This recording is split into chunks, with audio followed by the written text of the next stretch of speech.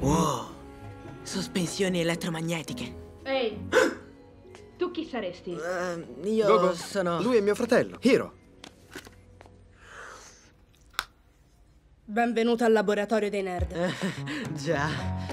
Non avevo mai visto sospensioni elettromagnetiche su una bici. Zero resistenza, bici più veloce. Ma non abbastanza veloce. Per ora.